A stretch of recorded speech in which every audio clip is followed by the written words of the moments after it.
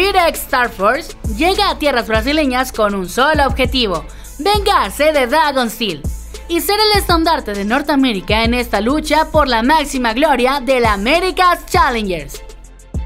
Los anteriormente llamados Cincinnati Fear arriban fuertes al torneo gracias a un juego consistente y efectivo, siendo capaces de derrotar en dos ocasiones al campeón de primavera, FlyQuest Academy, aunque al final no pudieron frenar al dragón de acero.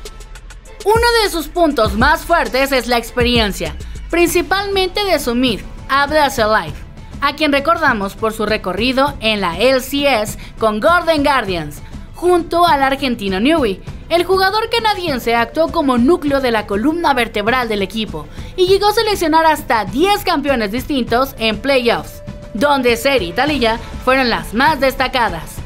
No te pierdas el inicio de la America's Challengers este sábado 14 de septiembre. Recuerda estar atento a la página oficial de LOL Esports o a nuestras redes sociales para no perderte de nada.